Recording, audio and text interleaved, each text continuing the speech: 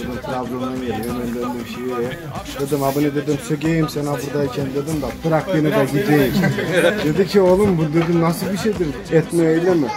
Dedi ya dedi sök ya dedi e, tamam dedim bırak beni de sökeyim. Önüme de Mini Cooper'dan iki tane kız durdu. Ben onları söktüm dedim amirim ben gidiyorum dedim. Amir çektim ona.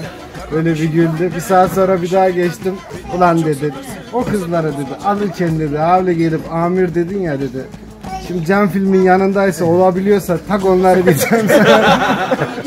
dedim o kadar hava yapacağını bilseydim kesin yapardım da. Evet, bugün Vagon Trabzon üyeleriyle çok güzel bir buluşma yaptık. Çok güzel bir arkadaşlık ortamı vardı. Sağ olsunlar beni ve ekibi yalnız bırakmadılar. Ee, Trabzon Beşikdüzü'nde e, buluştuk. Arkadaşlar da geldiler. Gerçekten güzel vakit geçirdik.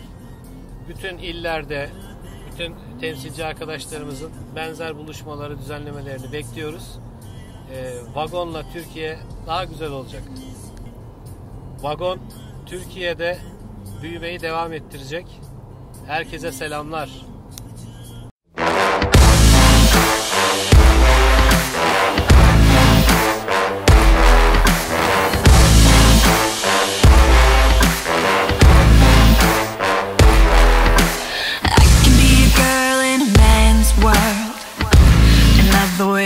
Way. Walking into a crowded room, no hiding in these heels.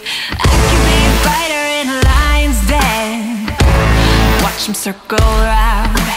They never see me coming, they never hear a sound. Boys, I'm not just a one of the boys. I come to take their toys,